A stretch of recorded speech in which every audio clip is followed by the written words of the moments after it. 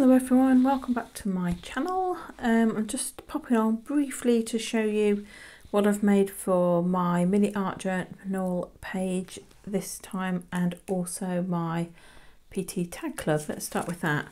Um, if you don't know what PT Tag Club is, it is a club or an online collaboration started by Ashley who is Paper and Twine on YouTube um, in my description box, I'll leave a link to her um, introductory video.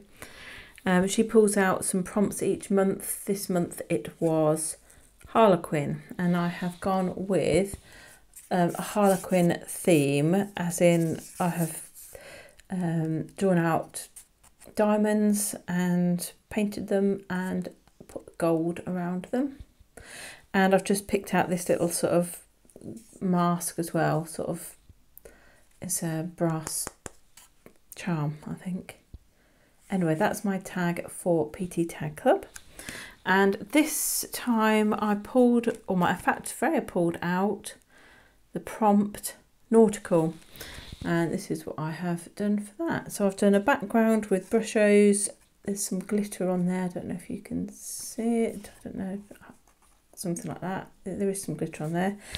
There's a compass, an octopus charm, and little blobs of um, Nuvo drops in the kind of watery colour thing, just to make it look a bit more like some splashes of water. So that's my nautical page. Freya has done hers, but she's not 100% happy with it, so she's going to do it again. Who does she take after, I wonder?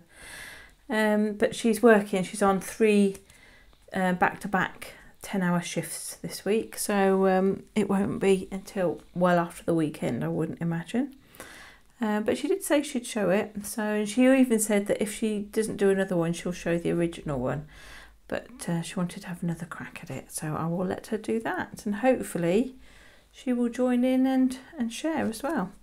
So thanks for watching. Um, this is my WS Art Club. If you want to join, it's you don't have to do anything apart from um, tag hashtag WS Art Club if you um, do something so that we can all have a look.